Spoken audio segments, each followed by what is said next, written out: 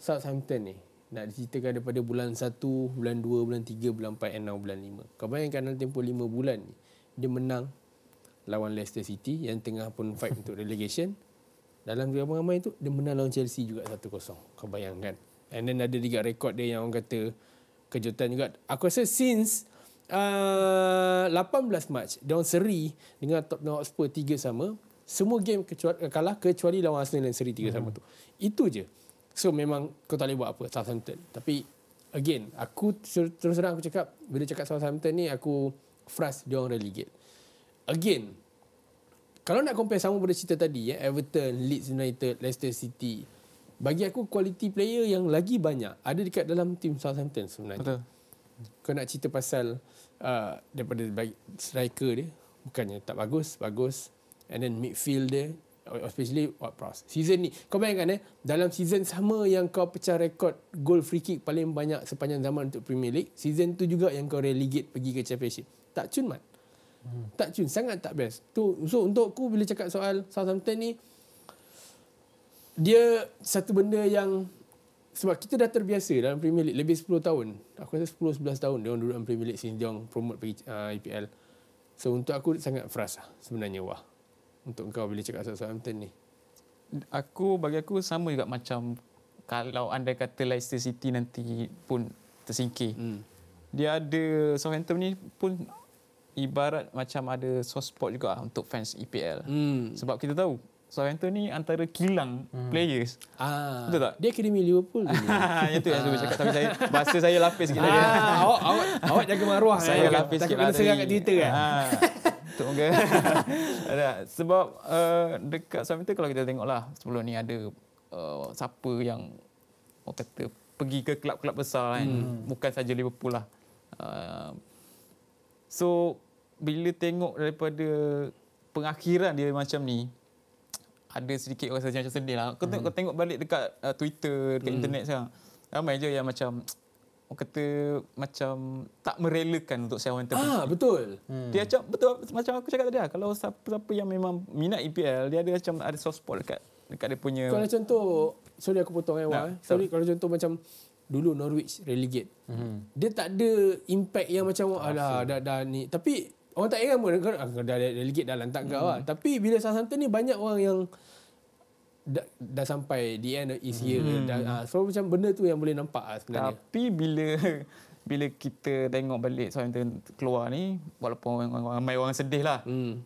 Uh, berita yang orang kata lepas je uh, tahu yang orang tersingkir hmm. adalah mengenai inilah ke mana pemain-pemain nak pergi ah, sebab yeah. tak semua yang akan stay yeah. dengan tim dekat orang kata championship kan uh, kalau kita tengok balik dekat skrin sekarang buat pros mesti hmm. adanya dah ada dah rumor-rumors nak ke nak ke situ nak ke sini so ni antara benda-benda yang akan terus diambil peluang lah dekat tim-tim kat EPL Ant- sebelum kau sambung Mel okay. antara player yang aku rasa orang akan uh, bagi perhatian Romeo Lavia hmm. Mohamed Salisu. Salisu. Uh-huh. Ni semua potential player yang umur dia belum reach 24 25 pun sebenarnya. And uh-huh. even ni semua saya silap aku tak terkejut kalau ada player daripada Southampton yang pergi team macam Man City. Uh-huh. Sebab Man City ni kita kita nampak dalam 3 4 season yang terakhir ni dia dah start ambil player yang mungkin daripada pasukan yang mungkin tak susah nak survive. Contohnya macam Leeds United last season pun Nino ni juga dia bawa masuk Kevin Phillips. Uh-huh. Okay. Uh, Jack Grealish from Aston Villa dia ambil sebab masa tu Aston Villa pun tengah wahara dengan Dean Smith apa semua hmm. dia dah hmm. start monitor daripada dalam. So untuk aku aku tak terkejut bila ada player daripada Southampton yang akan pergi pasukan-pasukan besar especially and even Arsenal pun. And kalau contoh kita ambil konten ada player daripada Southampton yang mungkin kau rasa logik untuk Arsenal bawa masuk. Aku rasa yang tapi siapa nama dia tadi tu yang dia daripada Argentina kan player tu. Uh, Lavia siapa? La, Lavia ke Salisu ah? Salisu okey. Salisu. Uh. Betul kan daripada Argentina? Betul. Sali, eh, Salisu, Salisu bukan Argentina. Salisu daripada Ghana. Sorry. Oh, daripada Ghana. Okay. Ha. Kalau dari segi pengambilan player daripada Southampton ni, uh, of course, uh, Arsenal kalau kita tengok dia takkan berbelanja besar, berbelanja besar pun. Ha. Kalau, okay. kalau ni, mungkin kalau Arteta ada player yang dia berminat untuk diletakkan dalam tim dia and sesuai dengan taktikal yang dia boleh buat, aku rasa tak tak mustahil dia pun boleh ambil daripada Southampton ni punya di kalangan player yang dia akan relegate ni. Hmm.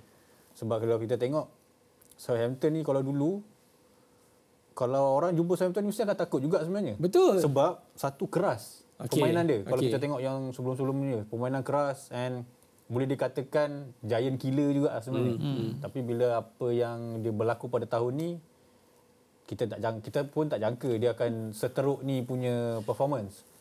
Dia luar kotak sebab EFL kau kalahkan Man City tau. Dia.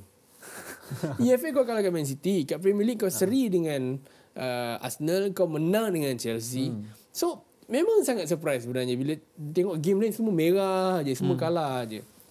Last question aku nak buka pasal Southampton. James Ward-Prowse. All time uh, set piece specialist lah. Senang cakap. Kau score free kick paling banyak. Now kau relegate. Dulu ada seorang player Southampton yang macam tu juga. Orang samakan Ward-Prowse ni dengan dia. Aku rasa zaman 90s. Hmm. Matt Letizia. Sama juga long range shooting. And dia pemain yang duduk kat satu club je. Hmm. Uh, sekarang ni banyak persoalan pasal benda ni melibatkan. Even Harry Kane pun orang dah cakap dah. Dia ni berapa lama nak duduk kat Spurs. Belah lah pergi tempat hmm. lain.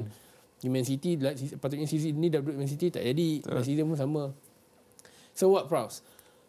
Pasukan mana yang load, bukan kata mungkin akan ambil dia. Tapi based on gameplay dia, tolak tepi cerita free kick. Mungkin ada advantage daripada free kick punya ability. Tapi daripada ability dia yang lain juga kalau ambil kira. Ada pasukan mana yang mungkin possible untuk Ward Prowse duduk? Uh, kalau aku melihat dari segi ability Ward Prowse, hmm. free kick of course super. Okay. Bagi aku dia Memang memang, super, memang betul. satu free kick specialist yang bagus. Hmm.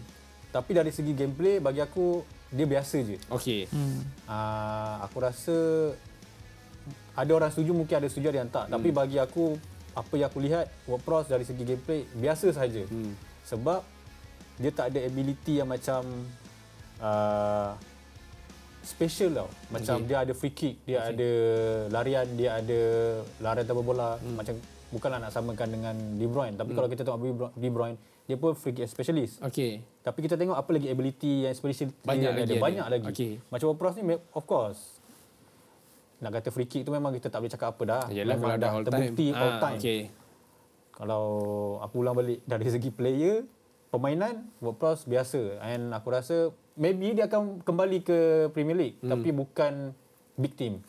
Maybe team-team yang middle team yang mungkin nakkan dia punya speciality tu. Hmm. Uh, itu yang boleh aku lontarkan lah dalam James untuk Ward-Prowse. James Ward-Prowse, ya. Uh, aku terus terang aku cakap aku tak nampak dia akan pergi mana-mana sebab aku rasa dia ni akan duduk je dekat Southampton. Hmm. Sebab kalau dia nak belah mungkin satu dua season lepas dia dah belah dah. Oh. Uh, aku Sama ada betul-betul dia orang kata peak dia masa zaman Ah, umur dia betul. 26 Betul. Ah dia mungkin daripada mungkin season lepas dua season lepas hmm. kalau dia nak belah dah lama dia belah. Tapi aku rasa dia akan stay dengan team sampai lah di, and even mungkin dia akan nekat nak fight untuk bawa Southampton ni pergi balik Premier League hmm. untuk season 24 25.